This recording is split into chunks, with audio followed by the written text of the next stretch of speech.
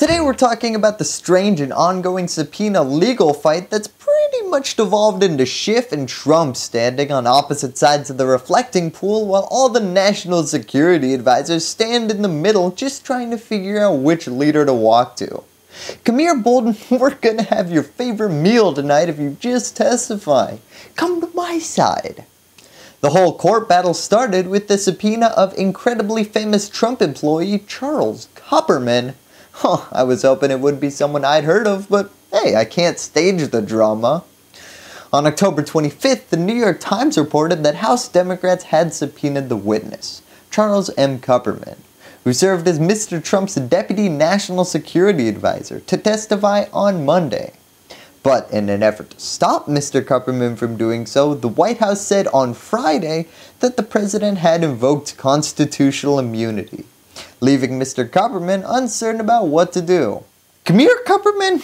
We know you want to testify before Congress. Just come to our side.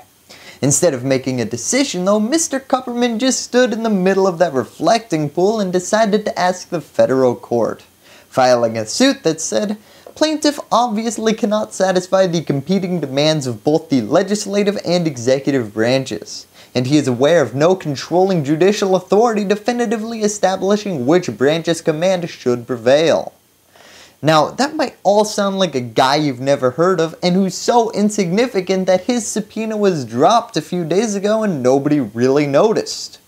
So why are we talking about this today? Well, since he filed that suit, some people you may have heard of have jumped on it like it was the last chopper out of Nam. Lawsuits arguing the exact same points have popped up for Don McGahn, John Bolton, and of course Mick Mulvaney. There are no shortage of plaintiffs, though. Mulvaney was one of 13 witnesses scheduled to testify in closed door hearings this past week. Just two showed up. Today I want to go over the legal brief and just kind of figure out what the heck is going on here.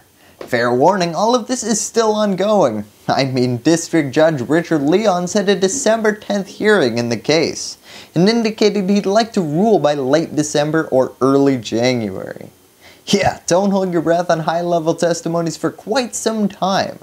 Unless, of course, Schiff can coax them over to his side of the reflection pool. Unfortunately for everyone who wants clarity, the plaintiff is not aware of any Supreme Court decision definitively answering these questions that came up today. So we're starting from close to scratch on this one. Apparently, this situation never came up in the first 243 years of running the country. So let's get started with the main argument. The President's assertion of immunity against congressional process may override the House subpoena. Now this argument is a bit tricky. Trust me, I'm the guy who spent the last few days trying to summarize it in an entertaining way. This argument is built on a foundation of other legal arguments. Specifically, first, the President cannot be subpoenaed. And because of the president not being able to be subpoenaed, well, that immunity should be expanded to his advisors. Not exactly the craziest argument on its own, but whoo, man, we're not starting slow in this episode. The problem emerges when you start to look at the disparate pieces of precedent that could be drawn on from both sides in this case. This stuff gets confusing enough that the December ruling deadline might start to make a little more sense. First, the argument that the president can't be subpoenaed. Well, you're gonna have to be a little more specific because that's happened a few times. Clinton ended up voluntarily testifying and having his subpoena dropped, although he lied his butt off under oath, so maybe not the best precedent there. Nixon lost his subpoena case and had to turn over tapes he was using executive privilege to protect, although he himself didn't testify. And Thomas Jefferson, well, it was such a long time ago he successfully argued that he left DC to go to Richmond, his absence would leave America without an executive branch, and he succeeded with that argument although he wasn't actually the one being investigated, and instead was being asked to testify against his vice president for trying to start an illegal war with Mexico behind America's back. Yeah, it was an odd time. In his absence, though, he did turn over a ton of documents and evidence. The tricky point emerges from precedent in the Nixon case, which said that executive privilege can be used to protect information related to the official duties of the executive branch. Now, unfortunately for Nixon, tapes of him talking about everything from covering up the DNC break in to long and weird talks about how homosexuals were intentionally making clothing more uncomfortable for women because they hate them, yeah, it got really weird. Well, all of that was deemed unrelated to his official acts as president, and therefore couldn't be protected by executive privilege. Now, similarly, the actions Bill Clinton was being subpoenaed for before he reached an agreement were not related to the duties of the president, unless there's a particularly salacious part of the Constitution that I missed. So this case argues that A, the president cannot be subpoenaed for this because it's an official act, and more importantly, B. By extension of that, Congress may not constitutionally compel the President's senior advisors to testify about their official duties. So, to be over the top clear, at this point we're leaving the section about Congress's ability to subpoena the President, and now we're moving on to the precedent about Congress's ability to subpoena the President's aides. Unsurprisingly, this is neither the first time Congress has wanted to speak to a presidential advisor, nor the first time the president hasn't wanted Congress to do just that. Unfortunately for the president in this case, there's one major piece of precedent here, and it supports the idea that advisors have different and more limited protections than the president. Whew wee, I am getting tired of saying president and precedent in the same sentence. I. In the Supreme Court case of Harlow v. Fitzgerald from 1982, it was found that the president is completely immune from civil suits relating to his official duties. Jury is still out on criminal suits, pun intended. But the president's aides are open to qualified immunity, which means that they can be subpoenaed if their official acts clearly violate federal laws or constitutional rights. Now, to restate that into English, if you can prove that a high level government official broke a law or a constitutionally enshrined right, well, you can sue them in civil court. Does anything we talked about so far apply to impeachment though? Well, we don't exactly have a ton of precedent to work with here, especially because impeachment is not a civil or criminal case, but rather a political mechanism. We're really writing the rules as we play the game on this one. Now there's one other piece of district court precedent from 2008. The House Judiciary Committee has escalated its constitutional clash with the White House by voting to hold two members of President Bush's inner circle in contempt of Congress for defying subpoenas. A district court found that, citing the civil case I just mentioned from the Supreme Court, senior presidential advisors do not have absolute immunity from compelled congressional process in the context of this particular subpoena dispute. Now remember that it's in that context in a bit. There are two weaknesses to citing this result for this impeachment case. First is more about what that case wasn't about than what it was about. Back then, we were trying to figure out why top White House officials fired nine federal prosecutors. We were not trying to investigate the more hush-hush duties of the president.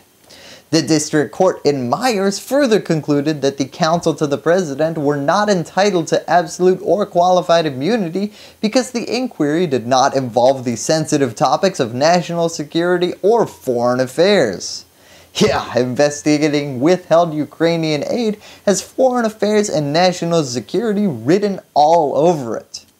The logic here is, and whoo boy is it a long shot sometimes, but if there was some sort of big picture playing out in the background, maybe public testimony might not be the best place to find out about certain secret international government projects. Now if you're having a little trouble getting behind this idea because it's Trump, well, let's talk Obama. This precedent would expand it to all presidents. If someone subpoenaed a national security advisor to testify about why America didn't attack Assad after the ocean seemed to wash away that red line in the sand, well, they might have found out that the president announced the plans to attack the Assad regime and then pulled back. It was the exact same period of time when American negotiators were meeting with Iranian negotiators secretly in Oman to get the nuclear agreement. Now, figuring that out would have really trumped that Iran deal before it could have even been seriously considered. The other big problem here is that district court case is very specific and tailor-made to that one problem. While the Supreme Court officially figured out on the books, in civil court the president's aides can be challenged and don't have absolute immunity, the case expanding that precedent to congressional investigations disappeared right next to that line in the sand. It also gave the subpoenaed individuals the right to invoke executive privilege in response to any specific question asked by Congress. Something that, well, you should just tuck that into the back of your mind when we talk about the House of Representatives response. Because of that, subsequent Office of Legal Counsel decisions from both the Obama administration and the Trump administration have respectfully disagreed with the district court's conclusion in Miers, and adhered to this office's long established position that the president's immediate advisors are absolutely immune from compelled congressional testimony. Now that isn't exactly as important as it sounds. It just means that the legal advisors to the executive branch are, you know, respectfully ignoring that this case happened in their arguments to the court. So now to the House of Representatives' response to this issue. Well, they largely go back to our top source for all things impeachment president, Richard Nixon. They wrote in a separate but very related brief regarding McGahn ducking testimony, ample Supreme Court and DC Circuit precedent make clear that such generalized confidentiality concerns regarding executive branch communications are properly addressed through a case-specific assertion of executive privilege and weighing the competing interests, rather than just blanket immunity. The best example of this is to go back to the Nixon tapes. Between his thoughts on Archie Bunker's perspective on the administration and him out and out confessing to an illegal cover-up, up 700 hours of tapes remain to be released on either the basis of national security or family privacy.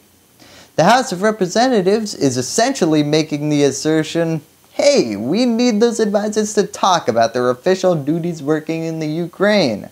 But we don't need to hear all of the top secret parts. We have things that we can work with through the Mueller investigation, other testimonies, and the transcript. You can cut off the crust, just give us the sandwich, because there's some unclassified non-national security things we need to figure out. Maybe you could claim executive privilege if we ask you too specific a question. So that's the main thing being argued right now. Whether the Office of Legal Counsel standing on one side of the reflecting pool is right when they call out, hey, you're immune from the subpoena because we're talking official acts here, come swim to our side. Or whether Schiff on the other side saying, hey, you're definitely not immune to our subpoenas. Show up and only answer questions on unclassified parts of the investigation. Swim to our side. We don't know who's right, and as you can tell, we're trying to sew this mangy patchwork of legal precedent into a coherent ruling of a quilt, with broad implications for congressional investigations of the executive branch. Thank you, and well, that's probably not all I have to say about that. Join us on That's All I Have to Say About soon as our legal bender continues, with back-to-back coverage of the Supreme Court's oral arguments on first, whether DACA is constitutional, and second, the legal remedy for a Border Patrol officer who shoots and kills a Mexican from across the border, as soon as the Supreme Court releases those oral arguments. Hello YouTube, I'm proud to announce that I just opened up a Patreon account. Special thanks to Eric Webster, Skeeter Zimble, Wayne Cardoza, and Yin Centeno for becoming my first four patrons. If you want to join as well, there's a link in the description. To support independent, nonpartisan news, remember to subscribe by clicking on this floating logo to the right of my head. Ring that bell so that freedom will continue to ring, and give me a thumbs up if you like what you saw. Lastly, as always, thank you for watching.